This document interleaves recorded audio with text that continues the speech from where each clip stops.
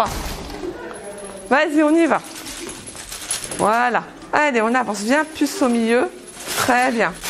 Bonjour, je m'appelle Myriam Sonner, je suis kinésithérapeute. J'aide les enfants à retrouver euh, un mouvement, une fonction, tout en étant euh, douce, euh, ludique et, et infradouloureuse. Ici, nous accueillons des enfants qui ont été opérés ou qui sont là pour deux années de rééducation, réadaptation, avec des projets bien spécifiques et, et validés par un médecin. Nous sommes une grande équipe euh, de sept kinésithérapeutes. Les enfants sont là toute la journée avec euh, des temps d'école, euh, de rééducation et des groupes qui sont en rapport avec leur projet de vie. Les enfants sont tous des enfants prématurés et qui engendre euh, des problèmes euh, neurologiques à visée de déficit moteur, de troubles de la commande, des problèmes cognitifs, des troubles de la concentration, euh, de la déglutition. Ils ont beaucoup d'appareillage, de, posture, en plus de la, des temps de rééducation. Euh, on peut leur proposer aussi, euh, en plus des séances individuelles, des séances en groupe avec l'escalade, la balnéo, de l'équithérapie. Voilà, et c'est parti. Et des groupes euh, midi yogi, euh, musculation, marche nordique, en fonction de, des capacités de chacun.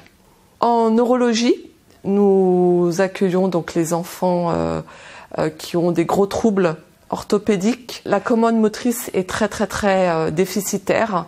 Ils ont du mal à avoir des mouvements sélectifs et euh, en utilisant la commande automatique, on va euh, réussir à les guider pour qu'ils arrivent à avoir une à, mettre en jeu leur motricité volontaire.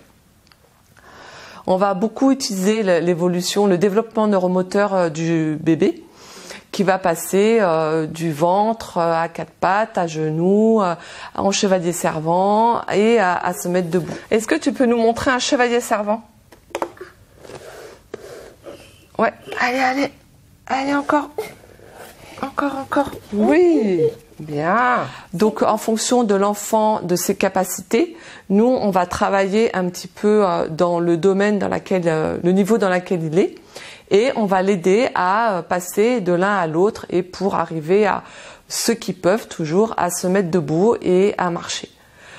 On utilise beaucoup d'aides techniques, euh, des cannes, des cadres postérieurs, des motilos pour essayer euh, d'avoir une, dynamique dans la journée qui soit pas assis toute la journée dans un fauteuil qui peut être soit manuel, soit électrique. Nous installons les enfants dans des corsets sièges pour euh, préserver euh, l'état orthopédique et éviter toute attitude vicieuse qui serait très néfaste au cours de leur croissance. On travaille beaucoup avec tous les autres professionnels parce que tout ce qui est euh, posture, installation, eh ben on va travailler en collaboration avec les ergothérapeutes et avec notre appareilleur et tout ce qu'on va faire, tout ce qu'on met en place, c'est toujours avec avec la validation du médecin de l'enfant.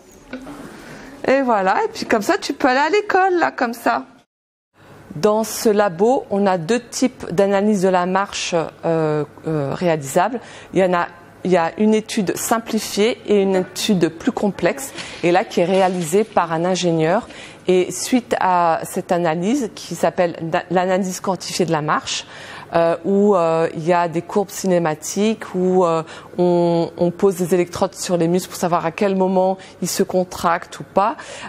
suite à ça, il y a un petit staff réalisé entre l'ingénieur et le médecin pour analyser tout ce qui a été enregistré et faire une conclusion qui sera ensuite transmise à l'orthopédiste.